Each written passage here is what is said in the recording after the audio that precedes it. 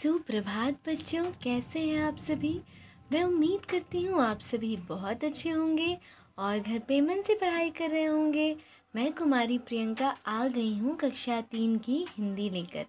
बच्चों, आज हम पाठ तीन के प्रश्नोत्तर करने जा रहे हैं। चलिए, पेज नंबर ट्वेंटी फोर में आज का हमारा प्रश्न है किन किन मौक़ों पर तुम्हारे घर का सारा सामान हटाकर खूब ज़ोर शोर से सफ़ाई होती है?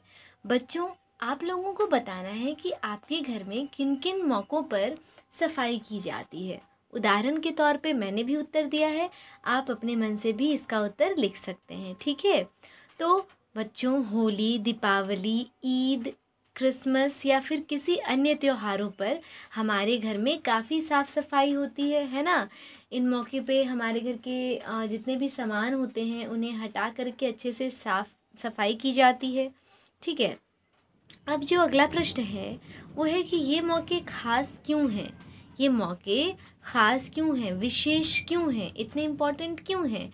क्योंकि इस दिन हमारे घर कई सारे लोग आते हैं ना, बहुत सारे मेहमान आते हैं तो आप इसका उत्तर लिख सकते हैं कि ये मौके ख़ास इसलिए हैं क्योंकि कई मेहमान हमारे घर आते हैं।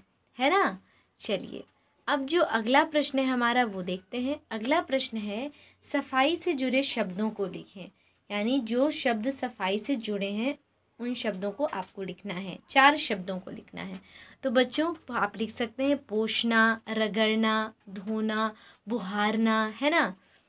ये सारे शब्द किससे जुड़े हैं बच्चों? सफ़ाई से। तो इस प्रकार से आप इन सभी प्रश्नों का उत्तर अपनी कॉपी में लिखेंगे, इसको याद भी करेंगे। आज आपने क्या क्या सीखा? आपने जाना कि किन किन मौक़ों पर हमारे घर में सफ़ाई की जाती है। तो बच्चों, किसी त्यौहार की पे, है ना? जैसे दीपावली, होली, ईद, दशहरा, क्रिसमस, इन सभी त्योहारों पर हमारे घर में खूब ज़ोरों ज़ोरों से सफ़ाई की जाती है है ना?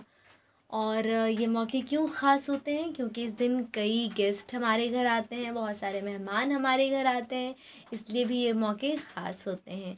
ठीक है बच्चों, आज के लिए इतना ही। तब तक के लिए पढ़ते रहिए पढ़ते रहिए। Keep study thank you so much